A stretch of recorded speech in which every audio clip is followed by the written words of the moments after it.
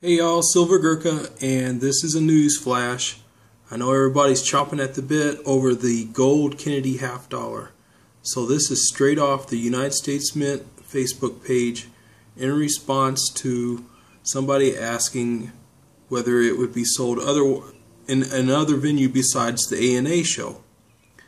And the United States Mint, it will be available August 5th at 12 noon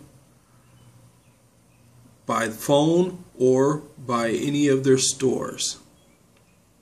I know where I'm going to be. I'm going to be right at the counter. I hope everybody gets one. I hope it's a limited mintage. I, I would think a limited mintage. I mean, because that's not an easy coin to just pump out because the demand will be insane for it's 24k but i'm not i'm not even going to ramble about it I'm over here trying to plan my travel plans right now. anyway, good luck to everybody, and I hope you're having a good night. Bye.